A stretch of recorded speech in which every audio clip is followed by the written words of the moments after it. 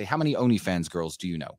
Hundreds. It's in the hundreds. Yes. Yeah. Ask them all honesty, uh, honestly, if they run their own accounts or if a management company takes care of their accounts because they're not on their accounts typing to these simps all day. You're talking, bro. If you're on OnlyFans talking to girls, you're talking to dudes. You're Yep. talking to dudes in, in the Philippines who are running these messages and getting the money out of you. You're not. You are not talking to that girl almost in in ninety percent of cases.